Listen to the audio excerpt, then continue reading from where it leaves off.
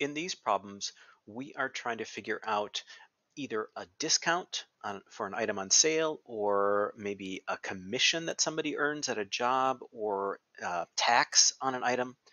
And in all of those kinds of problems, what you're really doing is um, taking the percent of some other number. So in this first problem, uh, the item is 40% off.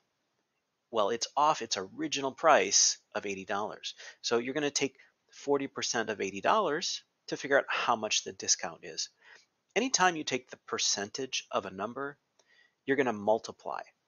And before you multiply a percentage, you have to convert it to a decimal. So there's always going to be this two steps to do here. So we have 40% of $80 that we want to find. So we're going to multiply 40% times 80. The first thing I'm going to do is convert this to a percent, decimal point 1, decimal point 2 to the left. So that's 0.4 as a decimal. And then we're going to multiply that by 80. And I'm just going to set this up as a multiplication problem like so. So 4 times 0 is 0, 4 times 8 is 32, and then we put one place after the decimal point. So we're saving 32 dollars. Pretty good deal, actually. All right, another related kind of problem is this one. It says a salesman earns 8% commission.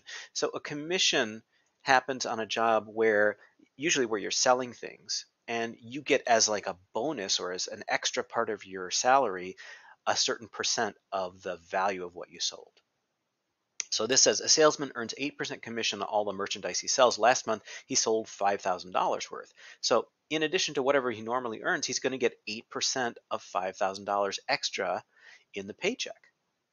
So how much is the commission in dollars? Again, we're taking 8% of 5,000.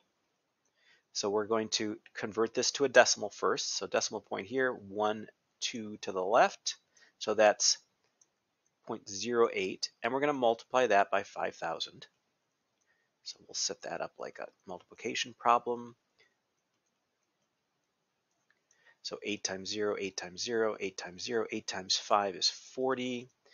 And then we've got two digits behind the decimal point, so that goes there. So it looks like $400 is the commission. Pretty nice chunk of change.